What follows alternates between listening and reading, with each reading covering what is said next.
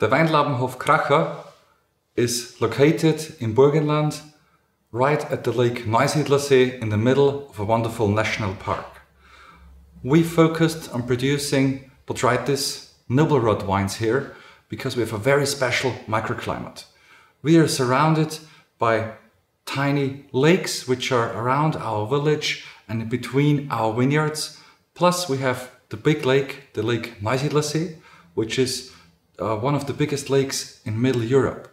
And this causes a very huge humidity, especially in September and October, right before harvest. In the Indian summer, we have always fog in the morning hours in our vineyards. And our area is totally flat, so the wind brings out this fog and uh, destroys the fog together with the sun, and then we have a clear, sunshiny day. And this combination of wetness and clear, sunshiny days is the perfect combination to let the noble rot grow. And this is why we specialized in these very special wines. There are only four areas in the world where you can produce these wines every single vintage. It's Sauternes in France, it's Tokai in Hungary, the Mosel in Germany, and here at the Lake Neusiedlersee.